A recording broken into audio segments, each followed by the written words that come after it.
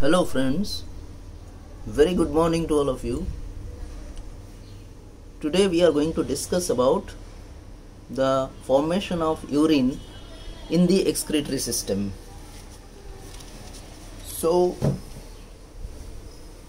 this is literally a huge task that we are going to do. First thing you have to draw a nephron. What is a nephron? The nephrons are structural and functional units of the kidney. Each nephron consists of a cup shaped structure known as Bowman's capsule.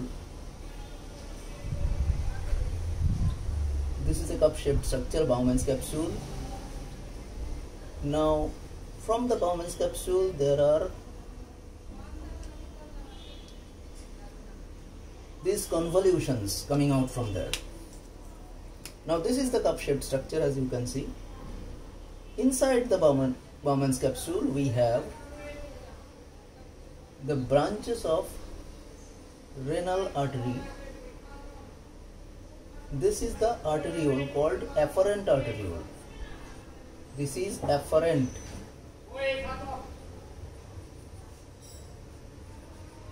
Afferent arteriole.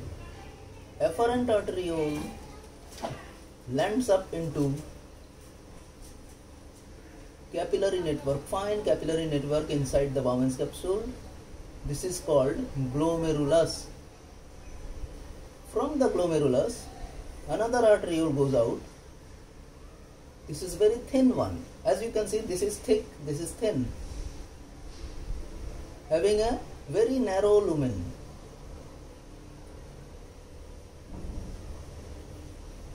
This is glomerulus.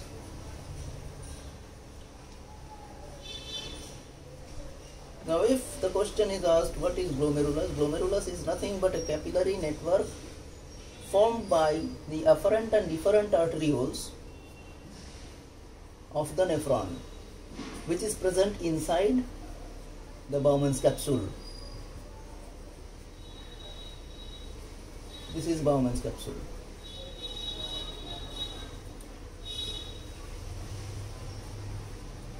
Now this Bowman's capsule and the glomerulus together is known as Malpighian body.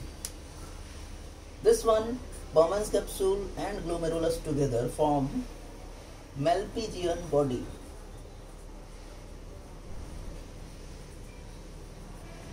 Malpighian body. Look at the spelling. The spelling should not be wrong.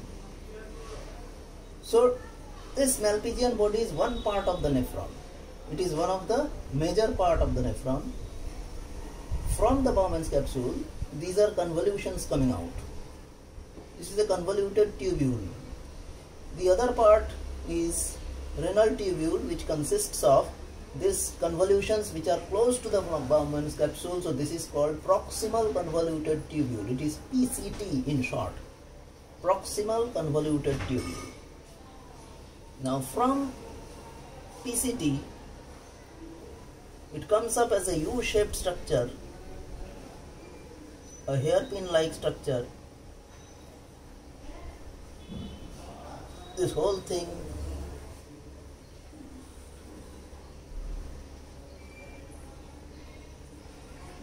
from here to here. This is a hairpin-like structure called loop of Henle.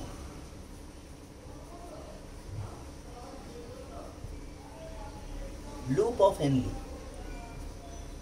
This loop of Henle has thick column means here this is descending column and this is ascending column. So descending limb of the loop of Henle, this is ascending limb of the loop of Henle. This is another convolutions that is far away from Bowman's capsule, so it is known as distal convoluted tubule, DCT. This was proximal, it was close to the Bowman's capsule. This is distal, it is far away from Bowman's capsule. From here, it goes to the collecting duct. This is the collecting duct. From collecting duct, the urine comes out. This is collecting duct. Hope this one is clear to you. This is the structure of a nephron. Very easy diagram. Now from here, from the afferent as well as efferent arteriole, there are peritubular capillary networks. This is peritubular capillary networks. Let us keep it as schematic diagram. This network becomes a capillary and this wraps around the whole of loop of Henle and it goes out as renal vein. It forms the renal vein.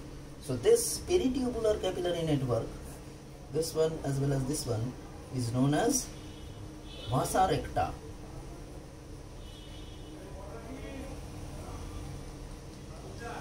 Peritubular capillary network, this forms vasa recta.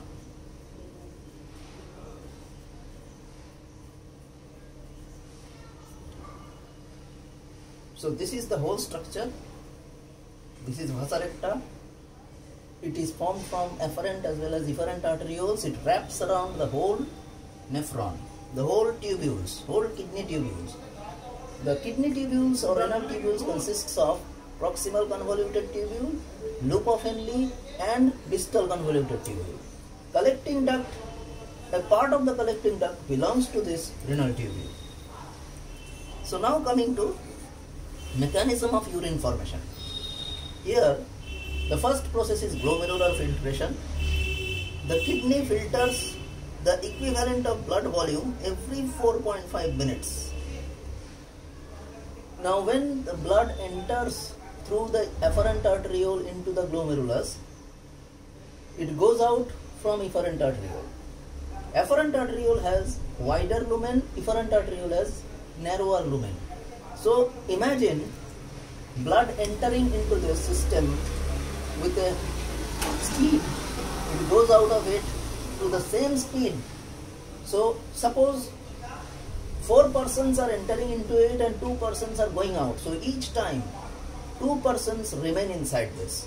So this creates a tremendous, very tremendous pressure inside this. This is known as hydrostatic pressure it becomes stacked up over here. It, it is called hydrostatic pressure. So hydrostatic pressure is caused over here. Around 1300 ml of blood flows past per minute. Filtration along the glomerulus forms an ultrafiltrate in the lumen. Here, ultrafiltration takes place.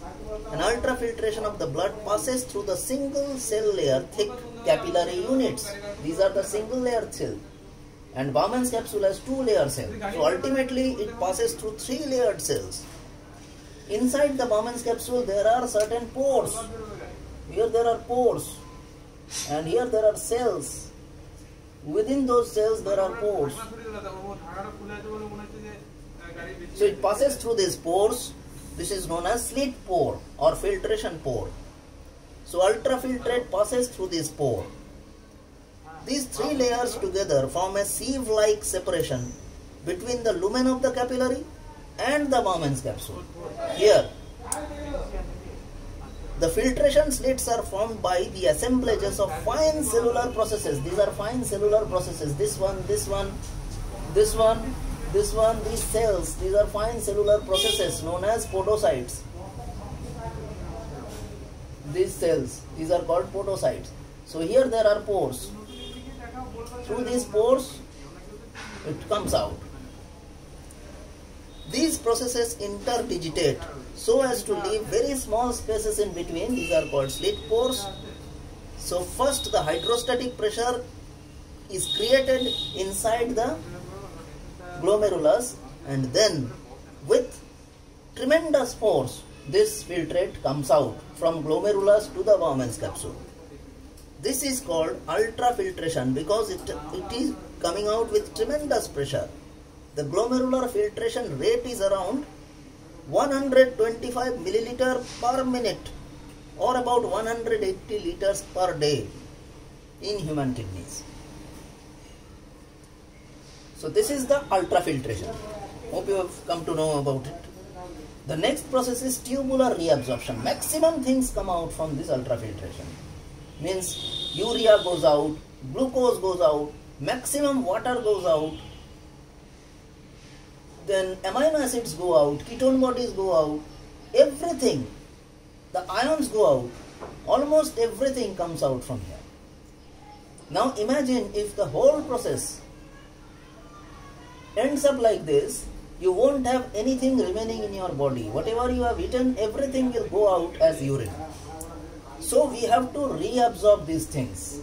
The things that were gone out, you have to reabsorb those things. So these things are reabsorbed from this part, PCT. Water comes out again. When it passes through PCT, water comes out and goes into this peritubular capillaries. Then glucose comes out. Let's rub this one. Glucose comes out. It also passes to this. Amino acids come out. It also passes through this. Ketone bodies, some ketone bodies come out. So how much of water comes out? About 85% of water comes out through this, reabsorbed. Because without reabsorption, we cannot allow maximum water to go out. The ions, K plus, Na plus, etc. These ions are very vital for our body, Cl minus, HCO3 minus.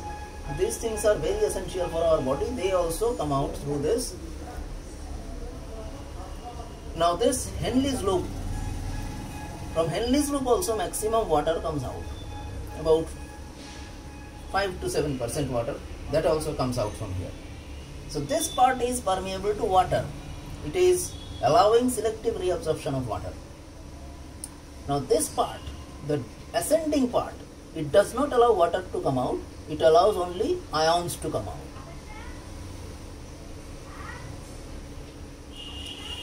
and it is the part where urea again enters into it urea enters from the collecting duct. So this is the selective reabsorption. The proximal and distal convoluted tubule, the loop of Henle and the collecting duct contribute to reabsorption.